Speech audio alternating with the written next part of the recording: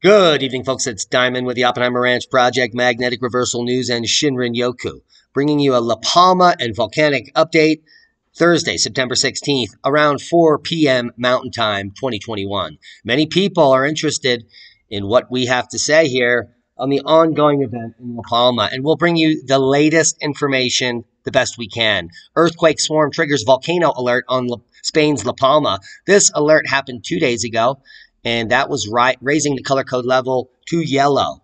Now, according to Reuters, authorities on the Spanish island of La Canaria, La Palma, have warned that a sudden increase in seismic activity could herald a volcanic eruption in the coming days or weeks.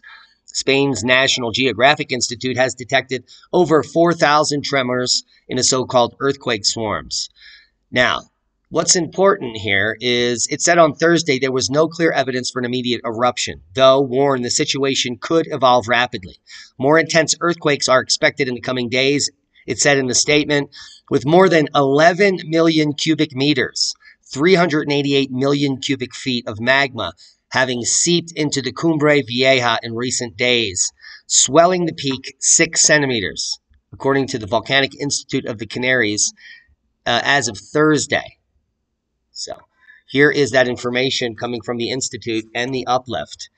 Uh, the majority of the magma was intruded here on the 13th into the 14th, and then it looked like a little drop down. And then since the 15th into the 16th, it has been gradually increasing. So that's the official data. And we reported on the drop down in earthquake activity last night, but that seems to have picked up just a little bit with over 50 quakes above 2 magnitude in the last 24 hours. Here is a chart of that information. And here we can see the chart that is showing uh, the depth of those quakes and the dates associated with them here. This is that drop down in activity last night. And then here we see a spike or an increase in activity uh, just moments ago with a quake occurring almost at the surface. What you should also see is that the quakes are getting closer and closer to the surface. And here we see the list of quakes. Just in the last hour, we've had one, two, three, just four quakes. Four quakes in the last hour. The hour before that, there were one, two, three, four, four quakes. So four or five quakes an hour happening now. What also is happening is we are getting some larger activity here in the last six hours. 2.1, 2.1, and the largest being a 3.1. And we've pulled that up here for you at a depth of six kilometers. So the largest quakes are now happening up near the surface, which would be indicative of magma near that region about to come out. When the quakes at this magnitude get about four kilometers, we should then see potentially movement in the crust and, well, an eruption. Now, instability of the Cumbre Vieja volcano is the biggest concern. A zone of fracturing may be located beneath the western flank of the Cumbre Vieja volcano, where this act- earthquake activity is happening. And a lack of seismicity between eruptions indicates that the detachment is only activated by the intrusions of magma into the upper parts of the volcano. So this detachment is only activated by magma intrusions, which we know well, it's happening now, unfortunately. So that's bad news. More than half, now listen to this, more than half of the total subaerial volume of La Palma, that's the island, more than half of the actual island has been removed by landslides and erosion in just the past 1 million years. That's bad news. Very bad news. Now, the vent in question is Teneguía. It's a monogenetic cinder cone. It's an event uh, which has been active once and has had uh, seismic activity there, situated on the uh, southern portion of La Palma.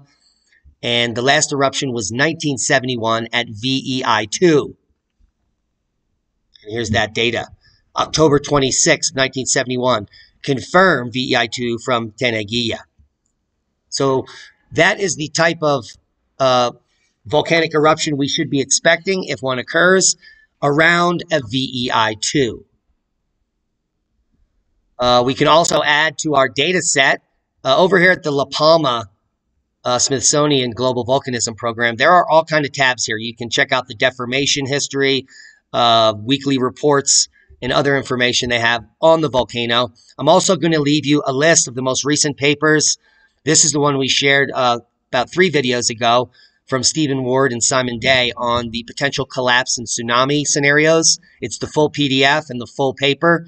We also have several other papers pulled up here. One from Semantic Scholar, Oceanic Propagation of a Potential Tsunami from the La Palma Island, which you could take a look at, Modeling of the La Palma Landslide Tsunami, as well as the most recent paper, the La Palma Landslide Tsunami, Calibrated Wave Source and Assessment of Impact from French Territories. So dive in because, well, La Palma is not the only volcano we need to be worried about. Grímsvötn on Iceland may be ready to erupt. We reported about a week or so ago on the Jökulhlaup happening. A secondary Jökulhlaup has occurred, and once that drains out, the pressure is released on the volcano, and it typically goes boom once every 10 years. So, another thing we have to look forward to. One other piece of information I want to update y'all on is the massive lava cave opening up at Fagradalsfjall in Iceland. It resulted in a lava flooding down into Nátthagi. Um, you can read all about it here at Iceland Geology. We'll leave you links below. We're watching the volcano closely for you, and that's a boom to science and knowledge. Proper prior planning prevents piss poor performance when the mainstream will not report on the science facts. We will. Thank you to all of our one time donors, our Patreons. Subscribe to the channel if you haven't, and we will update you as needed. That's boom. Be safe. We love you. 네네네네.